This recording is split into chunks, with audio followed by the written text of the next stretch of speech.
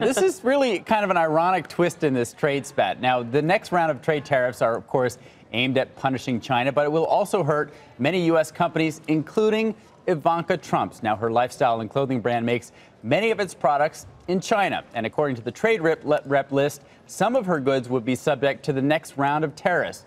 Her leather handbags, for instance, they all carry the Made in China label, and leather bags are on that list. So, this $148 bag, this Hold right here, that would be subject to a $14.80 tariff. And Contessa has a $250 bag that would get Hold a up, $25 tariff. But it smells like leather.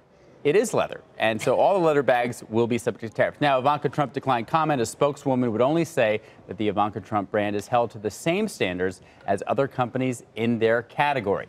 Now, her company doesn't disclose financials, but the first daughter earned more than $5 million in income from the band brand just last year, and she hopes to deepen her ties in China, receiving seven new trademarks just this spring in China for everything from books and snacks to spices and houseware. Really? So Nordstrom, uh, as we might remember, dropped the Ivanka Trump brand last year, but you can still find it at Lord & Taylor, Macy's, and other retailers. Wait, so is she expanding in, into new areas in China that she's not in the United States? States? She has filed applications to do so, and those applications were accepted and approved much faster than any other applications are typically approved but she hasn't yet launched products. There. Her brand name, though, is very strong, or had been very strong in China. Remember the the video of her She's daughter, huge. right, She's singing in. Chinese to the president of China. Yeah. I mean, and and part of the reason she did that is she was already getting ripped off. A lot of people were doing Ivanka Trump branded products, and she wanted to sort of get out ahead of that, and so she had all these uh, trademarks approved. But she is hugely popular. She is the symbol of wealth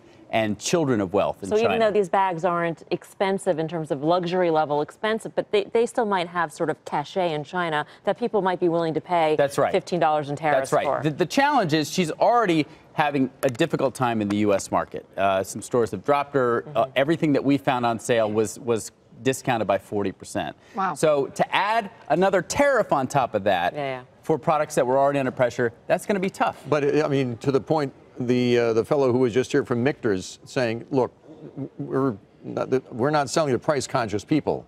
So they're not going to be affected that much by I the tariffs think she in China. Is. She, she's really targeting not the value buyer, but but really value-based customers that want everyday working women products. That's her prospect. Right. And I think because these are not inexpensive. I mean, I, I, it is compared to some of the things that we see on Fifth Avenue in New York City, but when you go to Milwaukee or right. Louisville or whatever, and you go into uh, Marshalls and find this even on discount, it's a significant investment for that's a right. lot of women. And, and, I think adding to that is only going to make it tougher, and that's right. that's the point. It's yeah. already a slightly high price point for what it is.